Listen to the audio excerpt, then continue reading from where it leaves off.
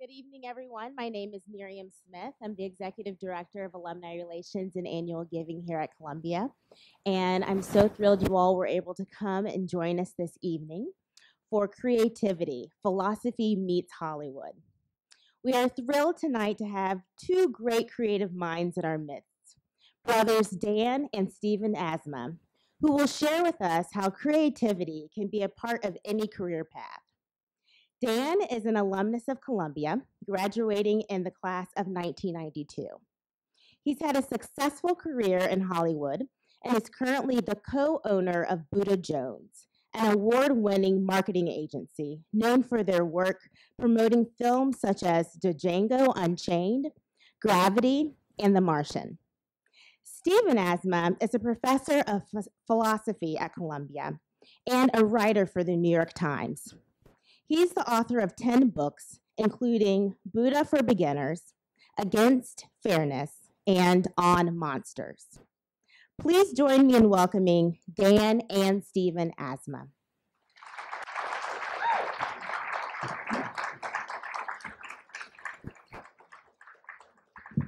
Hi, everybody. Thanks for coming out. Um, thank you to Miriam and all the folks at the uh, alumni office for arranging things and setting up the, the various, uh, you know, machinery for this event. Um, I'm Steve Asma. This is my brother Dan. And um, the way we're going to do this is sort of tag team the presentation, where I'll probably talk a little bit more at the beginning. He's going to sort of fill out the middle section with a lot of examples from uh, these creative trailers that he does at his, his company. And then we'll kind of mix it up at the end. And then there'll be plenty of time for questions and discussion afterwards, which is usually the sort of high point. Um, so what I thought we'd do is talk a little bit about, I might do a little walking around here because I, one of you punk uh, students put your gun on my seat here and it ended up on my pants. So just so you know. All right, so we're going to talk about creativity and I'm going to give you sort of a sense of what we're learning about the brain um, and from psychology and from philosophy and from neuroscience, and then Dan's going to show some great uh, examples of it. There's a kind of a long-standing debate um, amongst uh, theorists that uh, creativity is either a kind of divine inspiration, some muse comes into you and works through you. Uh, that view dates all the way back to the ancient Greeks, and it's like a sort of a possession, benign possession by uh, like a happy uh, spirit and it gets you to make the great painting or the great poem or whatever it is. And then that is usually contrasted with the grinder theory, which is you basically just put in 10,000 hours on whatever it is. And this has been made pretty famous by Malcolm Gladwell recently. Um, maybe you're not particularly talented uh, at something naturally or, or uh, innately, but if you just work at it long enough. And it, the example he gave was, he gave several examples, but this one I kind of like a lot of people think, oh, well, when you mix McCartney and Lennon together, you get this sort of creative, magical, mystical moment. And that's great, but he pointed out that these guys worked as essentially a, a house band at a strip club in Germany for like, you know, years in Hamburg, and uh, before anybody ever really heard them. And so they, they did their 10,000 hours and ended up developing these great creative skills. What we're going to argue here today is uh, a little bit of both. We're going to show some of the stuff that's really intuitive and almost almost mystical. Um, I, th I, think it's natural and not supernatural, but uh, and then also what some of the hard work is. So let's start with the some of the brain myths. This is one that's very well known, which is the left brain, right brain um, stereotype.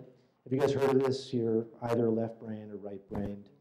There doesn't appear to be much actual evidence for this view. Uh, this appears to be false. There are things that are located on the left and things that are located on the right brain, but we don't sort of uh, come packaged as one or the other. Uh, I love this image because you've got such a great caricature of uh, this kind of rational, working in a cubicle, accounting mind versus the, what's that? No, no, no, no one wants to be there. They get things done, uh, but um, no one really wants to be there. And then you've got this sort of Columbia College vibe on the right, where everyone's making films and, and meditating and playing guitar. Uh, so this is not actually how it works. Um, but so I'm going to explain to you what we think really is happening in the brain. So I'm going to tell you just a couple of systems that we've been learning about more recently in brain science. This is the idea of the triune brain.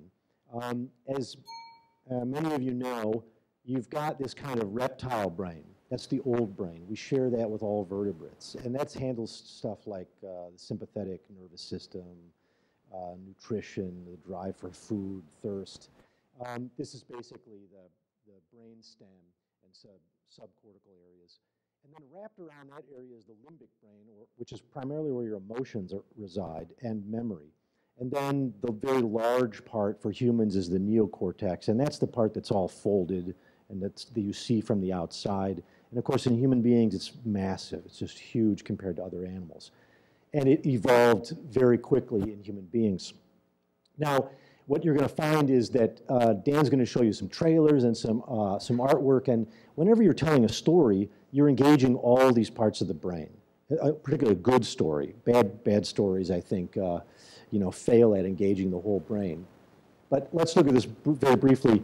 This is sort of a, um, not a cutaway, but you can see through the neocortex to the limbic system. And you'll see some things that are familiar, like the amygdala is that little sort of um, almond-shaped organ. You see that brown one there? And that, which you have in both hemispheres, is sort of where the fear is controlled. So, you know, Dan handles a lot of horror films. When, when they basically uh, tease you with horror, it lights up and, and, creates a lot of activity in the amygdala. And then um, you see the other structures around it. These are really important for the emotional impact of the story or the painting or the artwork that you've done then these, this system is also very important too, and this is the one I think is going to be crucial for understanding creativity. We now understand that there's something called cold and hot cognition. Uh, these are not the technical terms, but they're probably pretty useful to use these. If you look at the brain here, you'll see this brain has a little blue area. Can you guys make that out? That area is where most of the cold decisions are made. Now, what are the cold decisions? That's the sort of rational, reflective, um, logical thinking that happens when you have time to work it out. Let's say you're doing like a, a chess game, you're trying to figure out your moves and so forth. Uh, that's usually going to be your cold cognition system. Um, below that, though, and towards the front, is where a lot of the hot cognition happens. This is very fast. This is what you need when you're making decisions in real time. Like last night, if you're watching the ball game and you see these guys batting, um, the ball is coming at them like 100 miles per hour. That's actually too fast for them to track. So instead, their brain has been trained to sort of get a sense of where the ball is going to be way out there, like still many, many, you know, 10 feet away or whatever, and then they can swing accordingly. That's, be, that's all hot cognition stuff. They've trained like a set of heuristics to respond, and they're not, they don't have time uh, to think it through, and that part of the brain doesn't even, the dorsolateral cold decision doesn't even work fast enough. So this is going to be important in certain kinds of creativity. When you improvise a lot, is it cold cognition or hot cognition? It's hot. I want to thank right? the school for uh, inviting us to put this together. Uh, this is really uh, pretty fantastic for me to be able to come here and uh, spend the evening with my brother talking to you guys uh, about what it is that we do and uh, and you know there, there's a lot of gratitude to be able to kind of come here and talk about these things meaning you know the idea of being creative and the idea of being uh, basically being paid to be creative is is pretty fantastic and that's what you guys are all here as students kind of learning to develop into your creative selves your best creative selves which I think is uh, is fantastic. And whether it's the science of it or whether kind of the practical application of it, um, uh, you know, the, the creative process is, is truly an exciting one. So, all right, so let's get in with it. Um, so to talk about brainstorming, um, I think it's trailers. Trailers are very much a uh, kind of collaborative uh, uh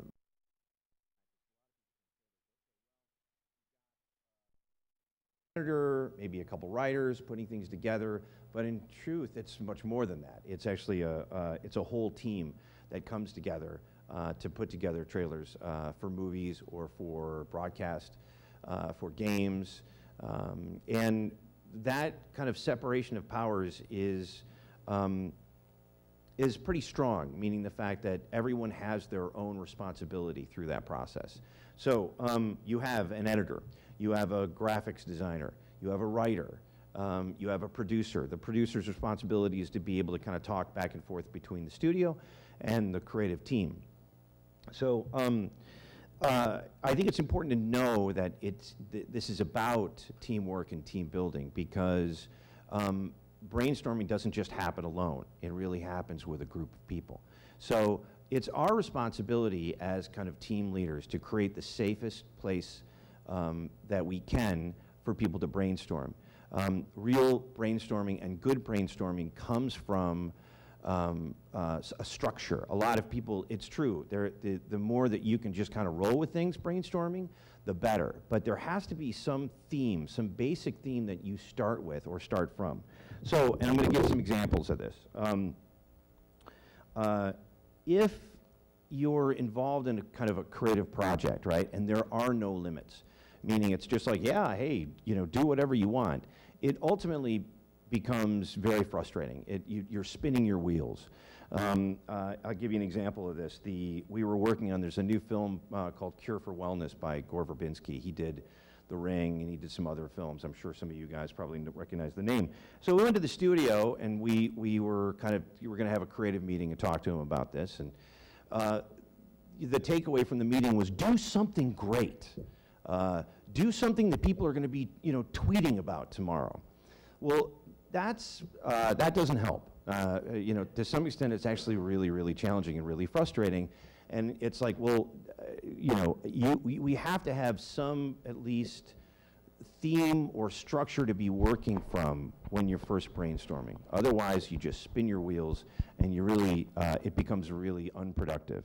So, um, as I said, we do uh, we do trailers, we do broadcast marketing, we do streaming marketing, we do um, uh, subscription marketing, meaning premium stuff like Netflix, HBO, et cetera, et cetera. We also do game marketing. So we were um, tasked uh, a couple of years ago um, to do uh, the trailer for this game called Far Cry, and it was called Far Cry 3 Blood Dragon, okay? So, and, and I don't know how many of you guys are gamers, um, but, okay, awesome. So I'm, I'm learning to become a gamer, which is actually uh, really fun. I, I, it is, it's actually pretty awesome. Uh, and as the technology gets stronger and the storytelling gets better, in many ways, I think the gaming community is starting to use, uh, usurp motion pictures as, as really strong entertainment. So anyway, this game, uh, Far Cry 3 Blood Dragon, the whole thing takes place in the 80s, okay? So they said, we need you to come up with a trailer, something really cool, really unique. So what we did was we went, we started with the main theme that we're in the 80s, okay? So those, that's the structure that we're going to stay within, okay? And what does that mean? Well, that means all sorts of things, meaning there's a very high cheese factor when it comes to the 80s, whether it be music, whether it be fashion, whether it be, you know, um, you know, the movies that came out in the 80s. I mean, this, stuff is not, was not that good, okay? So, so, so let's embrace that with this trailer and let's really have fun with it. Uh, complete to, I mean, complete with really over-the-top narration, uh, you know, over-the-top characters, um, just really pushing things um, so that it's, uh, uh, it, it really feels exaggerated. And I'm going to show you guys the trailer for that.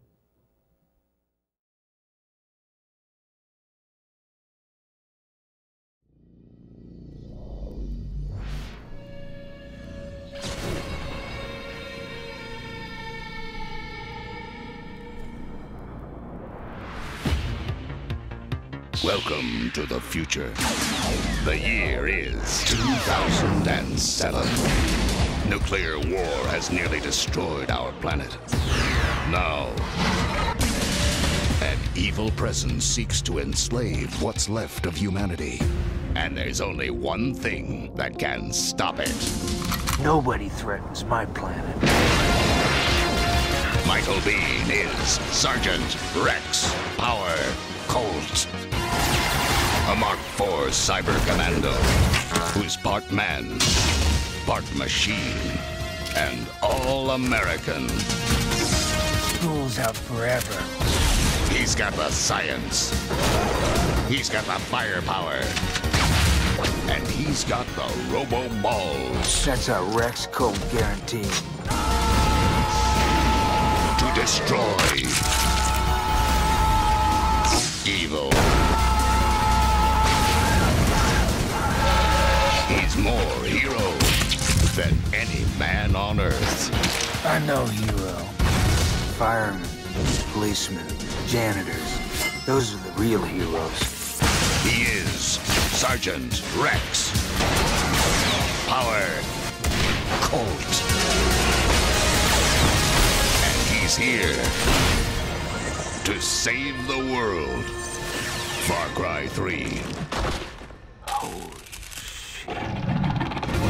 Blood Dragon. This standalone title is available now. Yeah, uh, even down to like the lines of resolution being all kind of like, yeah, it, it was, we were really having fun with that. But the reason why this worked was because of the fact that we were kind of going off of the structure of, okay, we're in the 80s. So how do we exaggerate that? How do we kind of, how do we embrace this kind of almost as a genre and really kind of push it and have fun? So, and there, and, and the brainstorming sessions for this were hysterical. I can, I'm, I'm sure you can imagine. So, um, so moving on, I, I want to talk a little bit about the this process of trying to create a safe place for really good brainstorming. Um, uh, you know, I, I think very often what happens is everyone assumes, you know, you get a team together in a room and you start rolling off ideas and people are kind of taking notes, you know, and it's like, oh, that's a good idea, that's a bad idea. In truth, really, there are no bad ideas, meaning the fact that even a bad idea, idea can generate something uh, uh, much stronger. So um, I, but I do, I, I want to kind of stress the fact that you should, and, and I would encourage you to let the freak flag fly. And what I mean is, even though it's good to have some type of structure when you're brainstorming, and this is either when you're kind of working with a group or working alone, um, you, you should go out there. You should really, really push it.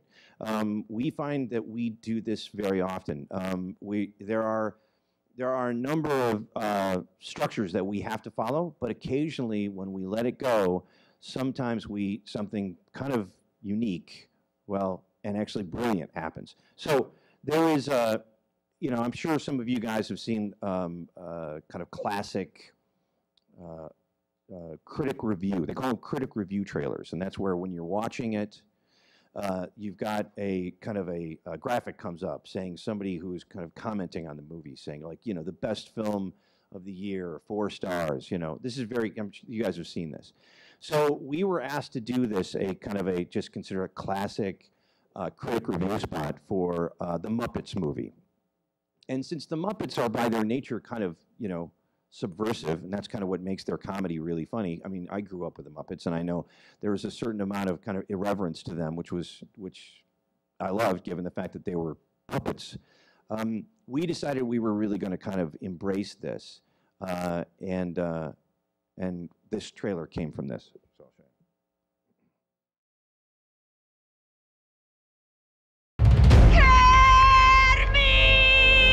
Critics across the internet are outraged that Muppets Most Wanted was not nominated for over 247 awards. Oh no. That's terrible. Hot Fudge 1218 says Muppets should have been nominated Best Picture for reals. Then Baby Bean 1128 proclaimed, It can't be. It's not out yet. You're ignorant. so then Hot Fudge 1218 said, Don't call me ignorant. You don't even know. Then Baby Bean 1128 replied, Good. I don't even wanna know. And then Rich Playa 33 raved. I made 2,000 bucks just sitting at home. Click this link to find out how. Well, he seems like a nice guy. Yeah, Humble and honest. Muppets Most Wanted. Finally eligible for nominations March 21st at theaters everywhere. Kissy, kissy. Rated PG. Um, but I mean, look, I, I, I think that's an example of absolutely going off the wall. I mean, this has nothing to do with the Muppets. And it actually aired during the Golden Globes, which I think is fantastic. Um, so, but again, I, I think that's one out there. And, and when you've got the team and you've got people who are willing to take those chances, this is sometimes what happens. Uh, and um, uh, and we were really surprised. We were super surprised Disney went ahead went, and, and went forward with this. Um, so uh, the, the other thing I want to kind of mention with regard to brainstorming, then I'm going to uh, hand it back off to Steve, is that there is in kind of the process of brainstorming, a, a lot of times you're looking at um, materials that are kind of subpar. That's why you're in a position, a creative position. Like for, for, for our teams to be selling a movie uh, to make it seem better than it is. Um, and, and there are many, many challenges with that. Uh, and in fact, for those of you guys who have gone to see a trailer, you like the trailer, you think you're going to go see the movie, and then the movie sucks. That's a perfect example of, of us doing our job, um, but, but ultimately, you know, you not being really happy about it. Um, but, and, and very often, we're asked to take bad movies and make them seem good. And, and that is, uh, and that can, that can certainly be challenging. However, there are other, other times where we're asked to take something good and make it great. Um, and that process is also kind of by its nature very challenging too, given the fact, like for instance, working on a movie like 300, right? Okay, for those of you guys who've seen 300, when you know when you take that movie, if it's a, if it's a bunch of you take the shots of that movie as if it's a puzzle, and you throw them up in the air, and however they land, that's going to be a great trailer, okay? And the reason for that is because, you know, every shot is a painting in that movie. Um, you know, the, the production value is such, you know, the sound design, things like, you know, the, the real craftsmanship of that film is, is, is very unique. So that's a process of brainstorming that, that it almost becomes, you have to get out of the way of it, meaning the fact you just kind of let it happen. You, you as an editor, you cut something on a movie like 300, you, you, you can't really do a bad job with something, with a movie that good.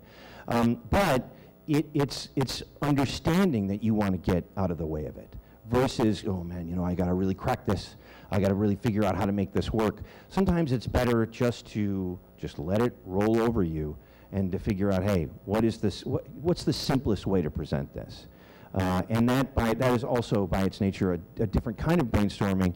we uh, one that I wish we could do more often because uh, I wish we, we weren't as challenged with turning bad movies into good movies. But it is, it's still part of what we do. So anyway, I'm going to hand it back over to Steve for a second. We won't have to open it up to full screen.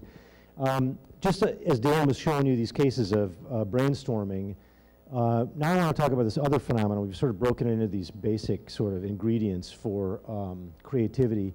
And this is to talk about cliches, good and bad. The, the mystical tradition about creativity is that you just get overtaken and the wonderful genius flows through you and you haven't uh, appealed to anything that went before you and so you would never use a cliche. The idea is the cliche is anathema to creativity. But anybody who really is creative and even works in the creative industry realizes that your cliches sometimes are extremely valuable and you rely on them sometimes. You want to avoid bad cliches and try to use the good ones. And that's sort of an interesting question. What's a good cliche and what's a bad one? Um, so Dan's going to show some examples of cliches, riffs, gags, cliffhangers. Um, the cliche is kind of recycling. You're going back to something that worked before and you're trying it again. Uh, and also the cliches are comfortable. So the audience and the creator oftentimes will rely on them. If they've taken you too far afield, they'll go to a cliche. This is true for any art form. Those of you, guys, those of you who improvise, and I know some of you guys improvise in here, uh, you, you basically have cliches that you go to uh, when you're stuck. And you know these are going to work, and your other improvisers know they're going to work, and the audience relates to them really well. And then you start to step away again from the cliche. So, um, obviously in the world of marketing, um, I mean, uh, cliches are, are just, they're everywhere. Um, and in fact, I, I, in, in many ways, that's kind of how we, um, that's the language that we use. Um, it is, I think in some ways, um, uh, I think Steve touched on this, cliches are comforting. They're kind of chicken soup, uh, meaning it's, it's what we expect. Um, and, and I think when you're trying to sell something, which is kind of what we're doing when we're uh, making trailers, we're selling the movie, the more that we can, can kind of have the audience feel safe um, and, and to expect uh, and, and to know what to expect, the better. That is certainly the case in most genres. It is not the case in horror. But, but I think it's our responsibility, and, and it's our responsibility because, well, let me, let me first say, it's our responsibility to get better in the work that we do. And that means finding better ways to be able to present what, what we know are cliches. And that's kind of the difference between bad and good cliches. You as audience members are getting more sophisticated. You guys are, you guys have a film language. You guys understand film language. You guys, you guys are developing it. You guys have developed it. So, so the idea of being able to present to you just the same old thing isn't fair. Meaning it's not, it's just not going to work. You guys aren't going to fall for it. You're going to be like, yeah, you're not getting my money, or I'm not getting Netflix, right? So, um, so I want to show you guys an example of kind of what I would argue to be a good cliche. Okay, we in marketing, um, I'm sure some of you guys are aware that there, there's a uh, there are visual and audio motifs. Um, uh, there's a convention, a big convention in in trailers and TV commercials where it's repeating things, whether it's a breath. Um, I, I, there's a number of great examples of this. Um, if any of you guys have seen the American Sniper uh, teaser, where it's just a, a heartbeat that's kind of building or that's breathing and, and it's getting faster and it's you know it's getting more intense. So these are these are audio motifs that are played and are played to manipulate you. Um, there are visual motifs too, um, where you'll, for instance, if you're uh, you're looking at like a trailer or a TV spot, you'll keep cutting back to that same visual cue, but it's supposed to be either giving you new information or more information, or it's supposed to be kind of you know uh, building to something else. Um, so I'm going to give you, show you a quick 30 second spot of what I would argue to be uh, uh, taking a cliche uh, and making it far more effective.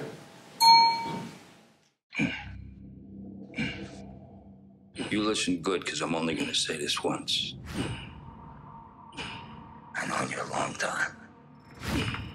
Now we need to know exactly who you've talked to and exactly what you said. I'm sorry, Jimmy. Do you know what I do to rats? I Had no choice. You always have a choice. You just happen to make the wrong one. Rated R. The, the strength of that, uh, just as a, a simple 30 second TV commercial, is that it's, it's, it's called, the name of the spot is called Sit Ups. Obviously, it's Johnny Depp starting ups at the very, very beginning, and it's threaded throughout the whole thing. Not only visually, visually doing uh, push ups, excuse me, sit ups, but also you're audibly hearing him do uh, sit ups as well. So, and, and the goal, obviously, rising action, as things get more dramatic, the, the, the sit-ups intensify, it's supposed to leave a kind of exhausted kind of feeling in the audience. To me, this actually works, um, and, uh, and I think it's an effective use of a cliche, both a visual and audio uh, uh, cliche. Um, okay, so obviously, um, I didn't bring any primarily because of the fact that I feel that most of you guys already understand the cliche of horror. Uh, I think it's just kind of part of it's, it's kind of been burned into our psyches. We kind of understand um, uh, the cliches of horror. Uh, we understand the good ones, we understand the bad ones. Um, you know, I, I think, uh, and, and Buddha Jones as an agency did uh, a great deal of in our early days, did, it, but did quite a bit within the horror genre. So that gave us a real opportunity to kind of explore uh, uh, how do you turn bad genre, excuse me, bad cliches into good cliches. And actually, what's interesting is, um, uh, you know, I mean, it was it was just Halloween just the other day. I mean, do we have any fans of the movie Halloween? Yeah, okay, come on. So, I mean, we all know Halloween has become kind of created its own kind of subgenre within horror. But but the truth is, when you watch it, and if you watch it now, you know, you're you're kind of it, it, it's it's nowhere near as satisfying as it used to be, and that's because of the fact that so many other films have kind of branched off from the cliches and have become cliches. Um, there, and, and what's interesting is, for those of you guys who are, again, who are horror, horror fans, there was a movie called Black Christmas that basically Halloween took and made some adjustments, put a mask on a guy, made it so that the killer didn't die, and kind of created this whole new genre, okay? But it's still a cliche, and then from there, you take what is Friday the 13th? It is basically, it's another guy in a mask uh, hunting adolescents who are having sex, but you know, instead of it being in a house, it's out at a teen camp. You know, and it just goes and goes and goes from there. And I'm sure you guys kind of all recognize and kind of can acknowledge um, how horror is really driven by cliches. And that's, and, and trying to find new ways of doing and presenting this stuff is really where, like, again, to go back to brainstorming for a second, how do you crack this stuff? How do you make it new? How do you keep it new? And how do you keep it exciting for, uh, uh, for audiences that continue to become more and more sophisticated? Um, so really quick, I'm going to keep going uh, just a little bit more cliches. Um, because I've been showing you guys um, kind of examples of uh, uh, cliches in trailers or TV commercials. There are, there are also um, cliches in graphics, obviously. Um, so those of you, if there are any graphic designers here, or if there are any, any guys who are pursuing motion graphics, um, this is really, really important for you guys to consider. There is, there are cliches um, throughout the graphic world, uh, and um, and it's unfortunate um, because there's they're they're really not true. There's the cliche that black and white is boring. Okay, there's it, it's just kind of old school. We don't want to see it. Okay, I'll give you an example. Black and white examples. If you get uh, to speak of Woody Allen, like uh, I love Woody Allen, but most people are going to look at that and go, yeah, that's kind of boring uh, from a graphic sense, right? However, um, you know, the contrast to something like that, sorry, um, is going to be Girl with a Dragon Tattoo, okay? Again, it's all black and white. It's really, really beautiful. It's really unique. It's very different, okay? So it's taking what everyone considers to be, oh, it's the cliche of black and white. God, do I really, do we really want to see this again? Yeah, we're going to show it to you again, and we're going to blow your minds, because this is, this is fantastic. And the, the opening credit sequence to this movie is uh, sublime, uh, as most of you guys who have seen it uh, uh probably would admit. So, okay, now let's move on to uh, how about a cliche of pink, what the color pink is graphically. Uh, most people think of pink, they think either either for kids, little kids, or they think little girls, right? Okay, so um, let's take a look. Um, okay, here's an example of pink that is far from childish, far from something for little girls. Um, here's another example that goes directly at working against the cliche, Mean Girls, right? Okay. Uh, and probably an awesome example of working against the cliche, War Dogs. Okay. Those of you guys who've seen this movie, this is far from cute and you know and childish. So you know, again, I just want to kind of touch on these are examples of kind of the, through the creative process, whether it be you know working in film, video, graphics, motion graphics, writing, um, uh, one more th quick thing about writing, I want to give an example. We were doing, we were working on this, this movie called Scary Movie. Anybody, you guys familiar with that movie? Okay. So what is Scary Movie? It is all about making fun of cliches. It's taking every horror cliche and making fun of it, and that's kind of what it's, that, that's its humor. That's what's really funny. So from a writing standpoint, our writing staff was trying to come up with great ways to sell this. Um, and they decided to do a triplet, okay? A triplet is a copy line that runs three times, right? So in order to be able to kind of go at the cliche of scary movie, which is making fun of scary movies, we thought it would be funny to make it about kind of like family. Instead of being horror, it's something family and heartfelt. uh, and then the last line of copy would turn all of it on its head. Um, and they ended up with um, a copy line that said, it's about family. Uh, it's about romance. And then the last copy line was, it's about an hour and 20 minutes. Okay? so, but, and which is, which is, which works so well when you're dealing with a film that is making fun of cliches. So it becomes kind of like, almost like self-reflexive. Um, and, uh, and, and it's, it's also a good way to be able to have fun something that I think a lot of us are starting to get tired of, which is making fun of cliches. You know, the airplane you know, that whole Naked Gun, all of these movies and franchises that have made fun of cliches, um, uh, you know, I think it'd be better to start focusing on like coming up with good cliches. All right, back to you. That when you see that uh, Johnny Depp uh, sit-up scene, what, if you think back to the brain slides I started out with, you'll see that you know you have this old brain, you have the limbic brain, you have the new brain. What happens is that when we see somebody who's experiencing duress or stress or pain, we now know, based on research from the last 10 years, maybe 15 years, that we have a kind of empathic system that mirrors what the other person's going through.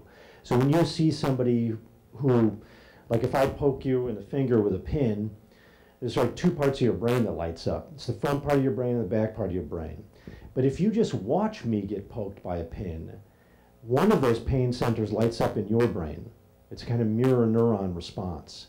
And what I think is sort of exciting about these trailers is that when you use things like breath, breathing hard or really fast, um, or repetition of a heartbeat, it's actually affecting you at a subconscious level because it's going sort of past your conscious brain to your limbic uh, brain and activating it. So I think that's kind of an exciting aspect of these kinds of uh, these kinds of trailers. This is the trailer. We did a trailer for the second season of Bad Robot, um, and I'm going to kind of take you guys through. I'm going to show it to you, and then talk to you guys about how what our goals were in dealing with uh, a show that has become a bit of a phenomenon.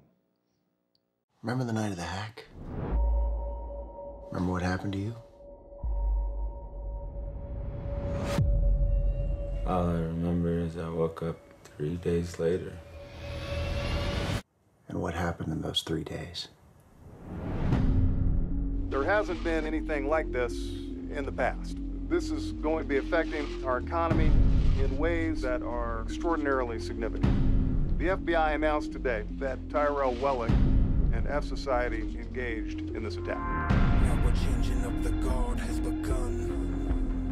People everywhere came to support us. And right now, they need to know we haven't given up, that we meant what we said about changing the world. Round and round we go.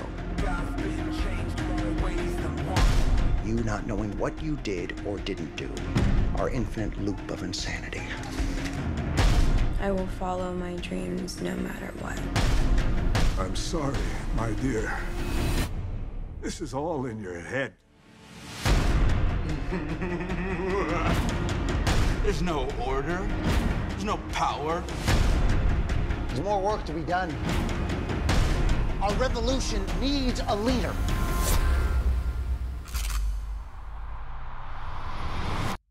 Uh,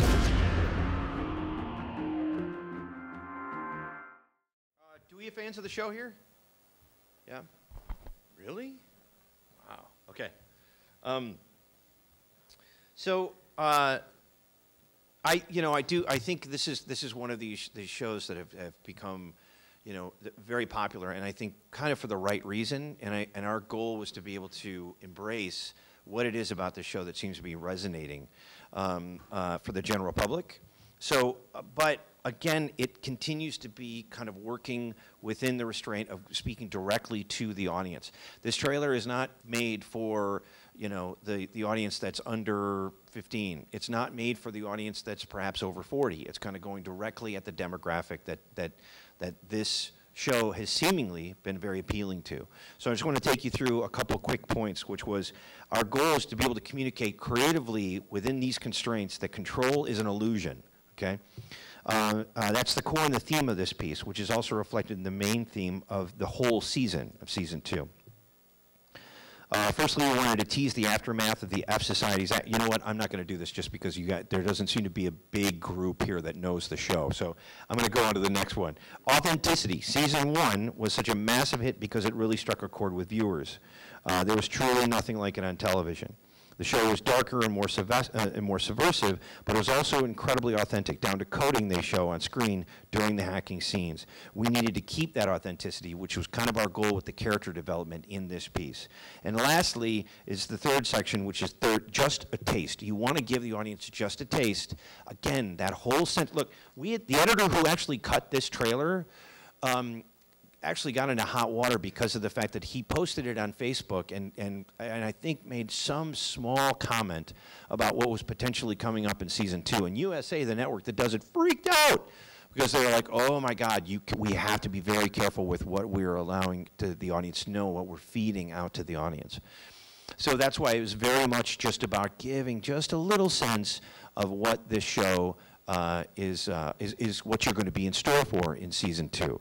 So anyway, and I will tell you, it's pretty amazing. So um, um, I think, oh, oh, a couple things I want to talk about um, with regard to the, uh, the, do you want to talk about the minefield of egos, or do you want to? Okay, all right. So there are other constraints, political constraints is, is perhaps the best way to describe them when kind of working with creative teams and working within an industry that is very much um, uh, driven by ego. Uh, and, and I think it's, I think we should be able to kind of have these conversations.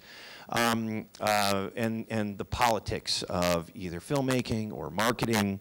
Uh, and, um, and they can be very challenging constraints. Um, uh, you know, in it, the the movie business, and most particularly in marketing, uh, there is there is a lot of people who really think they're the smartest people in the room. Uh, there's a lot of egos that get thrown around, and there's a lot of navigating those egos. So, um, you know, I, I there's a funny story. This this is an example of of somebody that you want to work with, or or this is a good exchange, a good creative exchange with somebody who's in a kind of creative leadership position. So we were working on the Oliver Stone movie called W. I don't know if any of you guys have seen that. Um, um, it's all about George W. Bush. It's actually a really good film. Um, so we were working on the trailer for it, and you know he was he was at the agency, and we were kind of going through and showing him these different sections and different parts of the trailer, kind of structures and this and that. And you know he's like, you know, he's watching it, and he finally gets up and he goes, you know what? Know how you guys do what you do. I have to go edit a film. You just go take care of it. So, uh, and let me, honestly, guys, that's the greatest experience you can possibly have when you're dealing with kind of, you know, a political machine. The, um, the ability to, to create um, willfully, to, to, to get into that zone. Can you give me some advice on how to go from that into an area of dealing with the ego that you were talking about in terms of like specifically how to get from creating, teaching, and directing to handling administration? Uh, it's a great question. I, you know, I think, um, uh, to me, I think it's, you know, I think your creativity really does boil down to it's just your opinion. Meaning the fact that I think that what, what, what you and, and what you share with people is your opinion. So you're sharing your creativity. Um, and, and I know that, um, and sometimes you're, sometimes people don't agree with your opinion, and therefore they're not going to agree with your creativity. Like I, I it's interesting, like, you know, um, you know, we're, as a culture, we're so into kind of cool things. Well, it's because we're a very creative culture. I mean, there's just so much really awesome stuff out there uh, to kind of like soak in. So I, I, I found that um, the more that you can share your opinion, ultimately your creativity, and but also be conscious and respectful to other people's creativity and opinion, the better things tend to work. I, I don't. Um, I'm going to generalize when I say this, but I do feel like the days are gone of like you know to be a good leader is to be forgive me an asshole. You know, I mean, really, like, you know, and, and, and certainly in the film business, there really is this sense of like, well, if I'm a director, I gotta run the show. I gotta, I gotta, I gotta run these people. I gotta make sure they all fall in line. And the truth is that that's really old school. I, I don't feel that's really any, that, that's just not healthy creative leadership. It's not. I, I think it's about allow, allowing people the safety uh, and the freedom to be able to kind of, you know, uh, find their own voice in things, to shape it and to and to find uh, find a way for it to work within what your opinion or your creativity is, and then take that and run with it. Um, you know, I think um, uh, an amazing resource for for really kind of evolved creativity is uh, the Pixar book called Creativity Inc. If any of you guys have read that, it's amazing because it really it really kind of goes into detail about how that company structured itself to embrace, support, and nurture strong creative work. And it's, uh, it's, it's I think, become, it's certainly become a Bible for Buddha Jones. Uh, and I would, I would encourage you guys all to, to, to uh, crack it open. It's a great book. So. Yeah, this is something that I'd be curious to hear what Dan says because he's under much heavier time constraints than I am. If I do something, I can be like, oh, I, will put this aside for a month. But you guys actually have to meet these deadlines or you don't get paid. And when you're writing a book or you're making an album, you know, I guess you're making an album, you have studio time. But yeah, for me, there's a lot of time that I can give it to just percolate. What about in your case? Uh, yeah, it's, um, um, uh, we found that um, the deadlines are kind of what dictates. Uh, uh how much we can creatively stretch our, our, our muscles, meaning the fact that it is, um, and, and that can be, uh, and that can be really difficult uh, because of the fact that you don't, you know, deadlines change. Um, very often we can be under, a, a, a s- you know, like let's say for instance to work on a trailer, um, we're given two weeks to kind of cut something, and then we're kind of killing ourselves doing our best to get it to delivered to the studio by that time, and then they call up and say, "Oh, you know what? The delivery has changed. You have another week," and then and then suddenly you're like, "Well, wait, now I've got to rethink everything. Is was it as good as it could be?" Uh, and then conversely, it, it, it, it, you know, you're given two weeks, and then a week, a week in, they're like, "Yeah, we need to see that tomorrow," and then you're like, "Mm, "Okay." So then it's like, okay, everybody order dinner, everyone call your family and let them know you'll be you'll be home whenever. Um, and and you do the best you possibly can within kind of that that window. Uh, but unfortunately, um, the, the the real freedom of time is fleeting, um, and so we end up. Um, and, and, and that's why, in, in, in many ways, what ends up being finished um, is, is rarely the best work. You know, it's, it is whatever the timeline dictated. And when you hit that, when you, at that 11th hour, whatever it is, is what it's going to be. Uh, and it's, and it's, very, it's very frustrating when you know it's capable of being so much more, but you just got to get it through the pipeline. So, yeah, it's hard. Yeah, one more thing on this. It, it, sometimes you put yourself under the duress that you don't have enough time, and that actually produces a kind of stre- stress that, that is really creatively interesting. Like a lot of improvisers will do this where they, they won't even rehearse. Like they'll have a gig, and it'll be in front of a bunch of people, and they'll be like, they just trust their own instincts that when they're on stage together, it's gonna, it's gonna go well or it isn't, but th- they, they sort of have matured enough that they're not over preparing for things. Um, they're not, and that's, uh, you know, it's not really quite to the time point, but I think that's, time can be luxurious, but also when it's really short, like Dan was saying, it might produce some pretty, pretty great stuff too. One More question. So we have one right here. Hello. Um, so my question is, uh, um, how do you take uh, this idea that you have and you put it to paper, but how did then do you take it from paper and get it onto screen to clearly communicate what you have in your mind?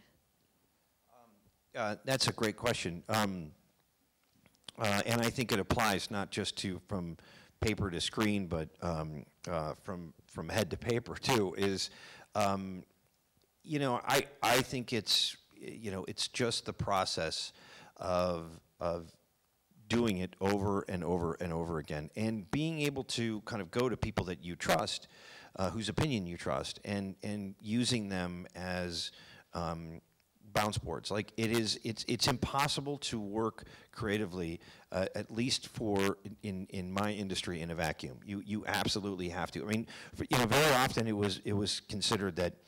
You know, editors kind of work solo. They kind of do their thing, and then you know, you they come out of the room and they're like, "Here's the trailer," and it's just so not the case. Um, and um, and and a lot of that is because it really is a social process meaning you have to you get stuck all the time and you're not going to and if you're not going to get yourself out of it and rarely do i get myself out of it i have to go and knock on the door to, to another producer or another editor and say will you look at this and tell me if this is working? If what is in my head is being communicated because here's what's in my head. I can say it but am i communicating it through what i'm creating through what i'm i'm building? And very often they will be um, they'll be like no this isn't working. Have you tried this? And so uh, the, the key for me is to realize i'm not the smartest guy in the room. The key for me is to be open for ideas and to, to, to be willing to change my, uh, uh, some of my ideas uh, to make them better. So and i assume the same things for writing. Yeah, except I am the smartest guy in the room, so I, I don't know. No, I'm kidding. But yeah, you, you're right. That's exactly right. I think what Dan said is right. You, you get some perspective from people you trust. It really breaks it open for you. Thank you so much, Dan and Stephen, for joining us. Let's give them all a round of applause. And thank you all for joining us this evening. I'm sure Dan and Stephen will be around afterwards to answer any follow-up follow-up questions. Have a great evening. All right, awesome.